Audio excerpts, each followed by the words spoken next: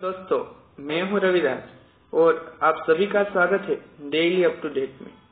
दोस्तों, मैं आपके लिए आज बहुत बड़ी बात लेकर आ गया हूँ। दोस्तों, आज से हम इस सीरीज़ में कंपनी लो के सी एस एग्जीक्यूटिव के सारे के सारे तफावत, सारे के सारे जो डिफरेंस बिटवीन है डिस्टिंग बिटवीन सारे के सारे जो कंपनी लो में आते हैं वो हम करने जा रहे हैं। आज से ही मैं सीरीज़ जो है, वो स्टार्ट करता हूँ और हर रोज एक या दो, मुझे जितना टाइम मिलता है उसके टाइम के तहत मैं हर रोज एक या दो कंपनी लो डिस्टिंग अपलोड करूँगा। दोस्तों, सारे के सारे जो है, वो तफावत मैंने कवर कर लिए है। सारे के सारे डिस्टिंग बिटवीन जो है, वो कवर हो जाएँगे। पर उसके लिए दोस्तों, आप सबसे पहले मेरा चैनल जो है वो सब्सक्राइब कर लीजिए राइट साइड कॉर्नर पर बेल आइकन दबाकर जो है वो मेरा चैनल सब्सक्राइब कर लीजिए। तो दोस्तों, आइए देखते हैं difference between MOA and AOA आज पहला टॉपिक है एओए और एमओए तो चलिए दोस्तों, देखते हैं। तो दोस्तों, मैं आपको एक बात बता दूँ स्टार्ट करने से पहले कि कंपनी लो में जनरली पूरे हंड्रेड मार्क का जो हमारा पेपर रहता है, उसमें 16 मार्क, यानी कि वन सिक्स सिक्सटीन मार्क का जो है वो डिफरेंस आते हैं कि difference between M O A शायद ले लीजिए। तो ऐसे 16 मार्क्स के जो है वो डिफरेंस आपको एग्ज़ाम्स में आते हैं। तो आइए स्टार्ट करते हैं एमओए और एओए का डिफरेंस तो पहला देखने चाहिए तो फंडामेंटल डॉक्यूमेंट जो है, वो एमओए है। यानी कि आप कहो तो पूरी कंपनी को, पूरी कंपनी को एमओए के तहत वो अपना एक बाइलो कह सकते हैं। आप अपना एक जो है वो फ्रेमवर्क कह सकते हैं। तो उसके तहत पूरी कंपनी को एमओए में जो भी लिखा है, उसकी तरह ही उसे वर्क करना पड़ता है। यानी कि वो चार्टर्ड डॉक्यूमेंट है, वो फंडामेंटल डॉक्यूमेंट है, आप कह सकते हैं। और अगर एओए की बात करें तो एओए जो है वो सबोर्डिनेट डॉक्यूमेंट है और वो इंटरनल जो जो कि कंपनी में इंटरनल जो वर्क होता है इंटरनल जो टास्क होता है वो कैसे करना है उसकी जो है वो इंफॉर्मेशन रिगार्डिंग एओए में होती है। अगर मैं आपको बता दू दोस्तों, यहाँ लिखा है सबोर्डिनेट डॉक्यूमेंट तो सबोर्डिनेट डॉक्यूमेंट क्यों लिखा है? क्योंकि जो एमओए है, वो मेन डॉक्यूमेंट है। तो उसका सबोर्डिनेट जो है, वो एओए है। इसलिए लिखा है कि एओए यानी कि आर्टिकल जो है वो सबोर्डिनेट डॉक्यूमेंट है एमओए का। आइए दोस्तों, दूसरा तफावत डिस्टिंग जो है, वो देखते हैं। एमओए एमओए जो है मेमोरेंडम जो है, वो प्रिवेल्स ओवर आर्टिकल जो अभी मैंने बताया कि वो एओए है, वो सबोर्डिनेट है और ये है ये मेन है। यानी कि प्रिवेल करता है आर्टिकल्स को एमओए और यहाँ तो यही होगा कि कैन नॉट प्रिवेल एमओए तो जो एओए है, वो प्रिवेल नहीं करेगा। किसको? एमओए को प्रिवेल नहीं कर सकता। आइए तीसरा डिफरेंस देखते हैं। MOA can not be amend retrospectively यानी कि दोस्तों, मैं बता दू आपको जो एमओए हम अगर अमेंड करना चाहते तो पहले तो वो बहुत ही लेंथी प्रोसेस है एमओए एमओए एओए के कंपेयर में। तो मेमोरेंडम जो है दोस्तों, वो अमेंड कर सकते हैं, पर रिस्ट्रोस्पेक्टिवली रिस्ट्रोस्पेक्टिव मीन्स के अगर कोई पिछले टास्क है पिछले वर्क है तो उसमें जो इसमें था, इस ऐसे ही हमने टास्क कंप्लीट कर लिया तो उस टास्क में हम चेंजेस नहीं ला सकते, उसमें हम रूल्स चेंज नहीं कर सकते। पास्ट का जो रूल है, वो हम आप चेंज नहीं कर सकते। पिछली कोई घटना घट चुकी है तो उसमें आप कोई चेंजेस नहीं कर सकते। तो वही बात करते एवो की आर्टिकल की तो आर्टिकल कैन अमेंडेड रिट्रोस्पेक्टिवली जो आर्टिकल है वो अमेंड रिट्रोस्पेक्टिवली किया जा सकता है। और नेक्स्ट डिफरेंस देखते हैं।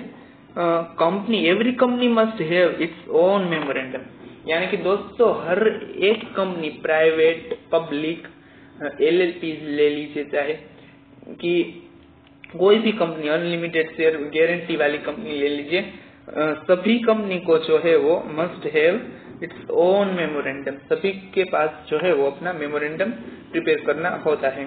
और एओए की बात करें तो दोस्तों public company limited by share में adopt table A in such a case, it did not have its own दोस्तों पब्लिक कंपनी जो लिमिटेड बाय शेयर है वो टेबल ए है और टेबल एफ़ जो है वो प्रिपेयर कर सकती है। उसको ए, वो प्रिपेयर करने की कोई आवश्यकता नहीं है। यानी कि मस्त नहीं है। आप करना है तो कर सकते हो, वरना टेबल ए बना सकते हो, ए ओ की जगह पे। अगर हम सिक्स पॉइंट में आए सॉरी फिफ्थ पॉइंट में तो MOA has six clause memorandum जो है मेमोरेंडम में सिक्स क्लोज आती है। अगर आपको पता था तो मैं बता दू।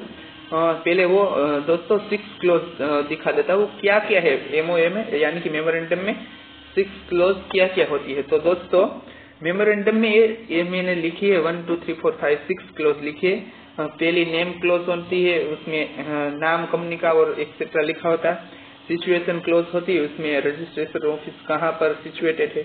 वो ऑब्जेक्ट को clause liability capital and subscription clause जो है वो ये ये सिक्स होती है मेन और हम ये आर्टिकल में देखें तो act has not prescribe any content of the article तो इस तरफ़ लिखा है कि मेमोरेंडम में ये, जो मैंने बताई, ये सिक्स क्लोज होती है।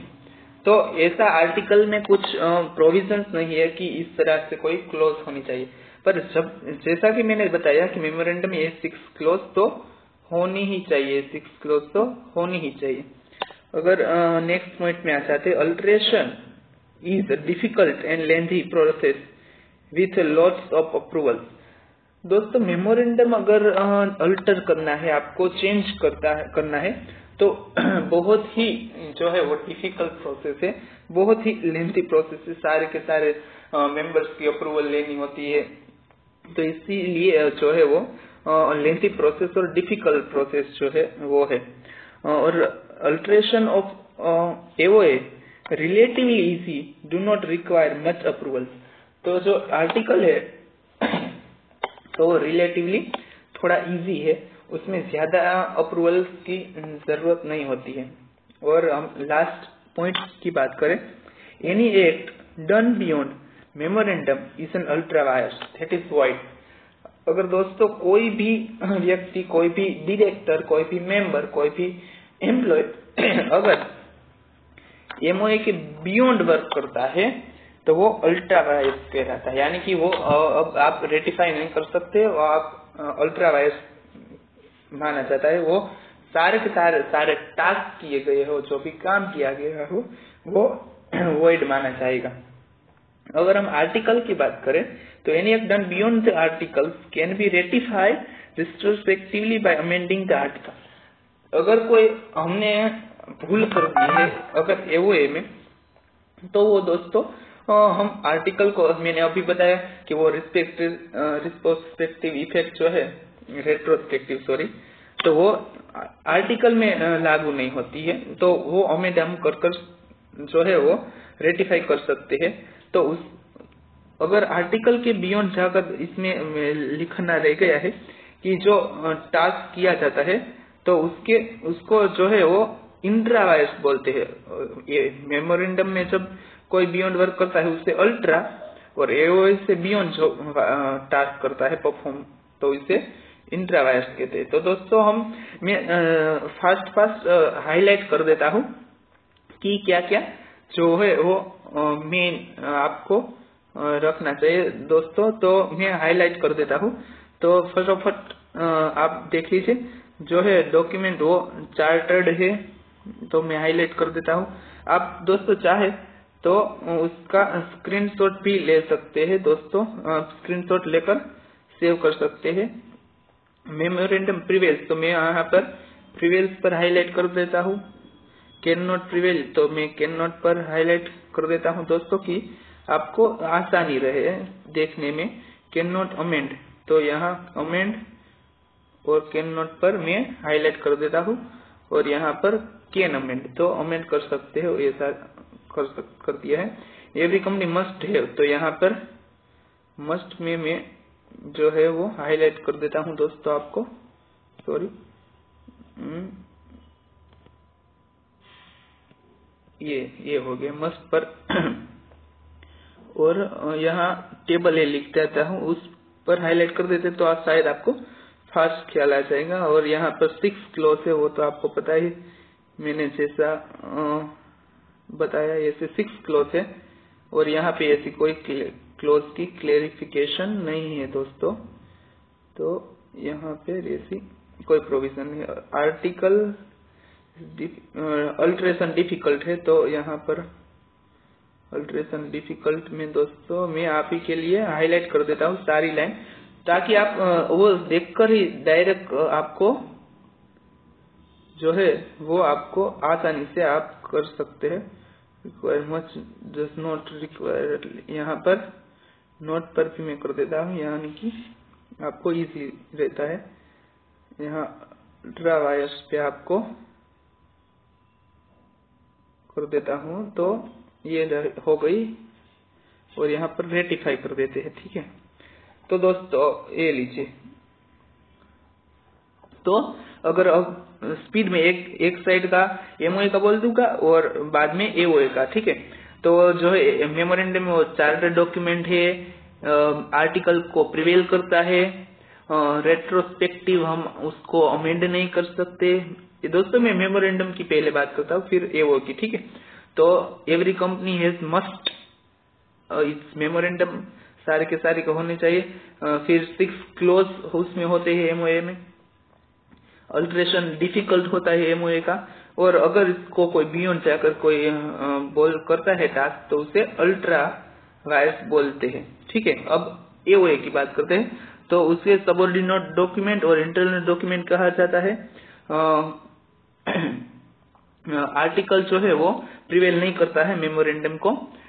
अमेंड कर सकते हैं उसको रिट्रोस्पेक्टिवली अगर आपको ये वो नहीं बनाना तो आप टेबल ए के ए से काम चला सकते हैं दोस्तों।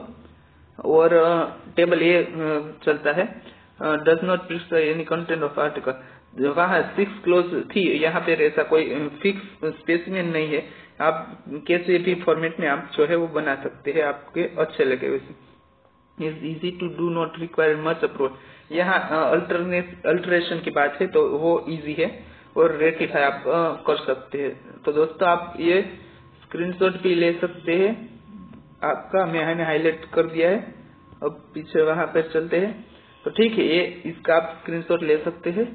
ये सिक्स क्लोज है। तो थैंक यू दोस्तों। आ, देखने के लिए और लाइक कीजिए वीडियो को शेयर कीजिए अपने दोस्तों के साथ। और मेरा मेरा चैनल जो है वो सब्सक्राइब कीजिए ताकि मैं सारे के सारे जो तफावत है डिफरेंस बिटवीन है और डिस्टिंग है कंपनी लो के, वो सारी की सारी सीरीज़ जो मैं अपलोड करने वाला हूँ तो अगर आपने सब्सक्राइब की होगी मेरी चैनल तो आप